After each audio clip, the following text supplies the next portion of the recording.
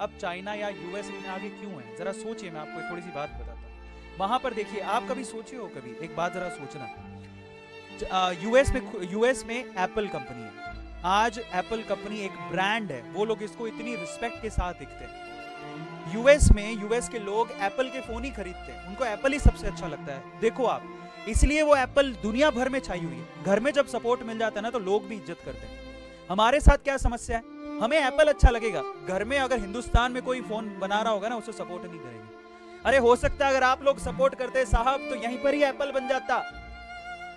आप सपोर्ट करते तो यही माइक्रोसॉफ्ट बन जाता। आप सपोर्ट करते तो यही टेस्ला खोल लेते। समस्या तो यही है।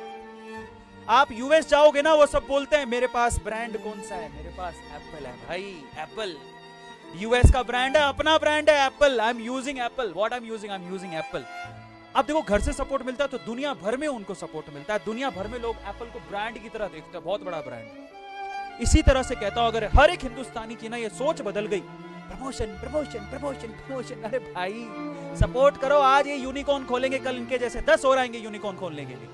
इज़्ज़त तो करो हिंदुस्तान में प्रोडक्ट की। इज़्ज़त तो करो यहाँ के प्रोडक्ट की। हिंदुस्तान सिर्फ़ पार्ले जी बनाना नहीं जानता है। अगर तुम लोग सपोर्ट करो तो एप्पल जैसी दस कंपनियाँ खड़ी कर देंगे हम लोग। अगर तुम लोग सपोर्ट करो तो टेस्ला जैसी सौ कंपनियाँ खड़ी हो जाएँगी हिंदुस्तान में। जब तुम्हारी सोच बदलेगी, तब खड़ी होगी। हमारे अपने को सोच बदलने की ज़रूरत है, और वो बहुत ज़्यादा ज़रूरी है।